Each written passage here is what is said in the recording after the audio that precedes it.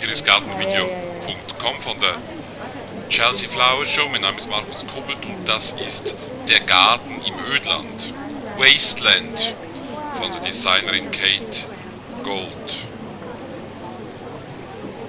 In der diesjährigen Chelsea Flower Show vielleicht eine der interessantesten Gärten, eine der schönsten Gärten, der mich auch am meisten überzeugt hat.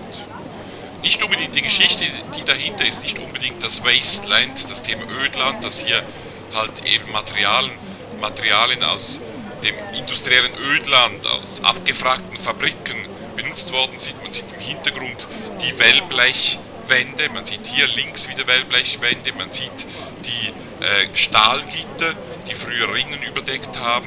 Alle das, alles das wurde hier integriert. Hier übrigens auch mal ein Rhododendron, sieht man gar nicht mehr so viel an der Chelsea Flower Show.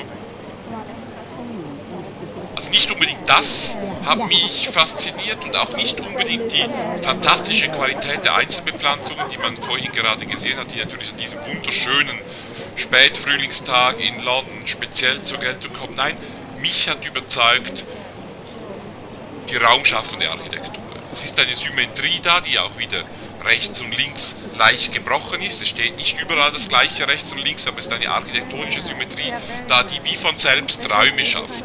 Räume, die dann selber für sich dastehen, wo das Auge ruht, wo man sich selber ausruhen kann, wo es Bänke gibt. Und das ist wirklich fantastisch gemacht. Also mich hat die architektonische Qualität dieses Gartens, eben Räume zu schaffen, zu unterteilen, Struktur zu schaffen und doch wieder zu durchbrechen, überzeugt, mehr noch als das Thema Wasteland, mehr noch als die Pflanzen.